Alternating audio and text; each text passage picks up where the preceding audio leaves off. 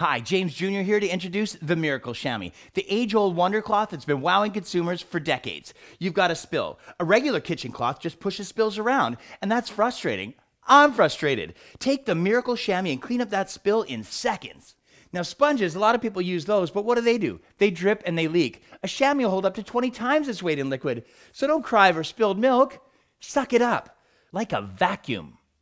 While sponges are dripping and drizzling all the way down to your socks, the Miracle Shammy, they don't drip, they don't leak, they don't even know how to.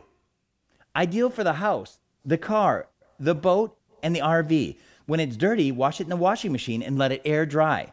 Cut one in half to dry off your pets, the other to dry your dishes. Red wine, white carpet, bad combination. Coffee, tea, juice, a nervous puppy, or Rover the Golden Reliever.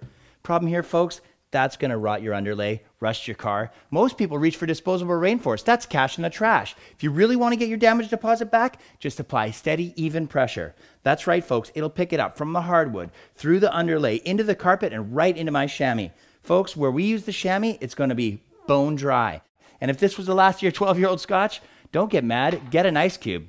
My friends say it tastes better the second time.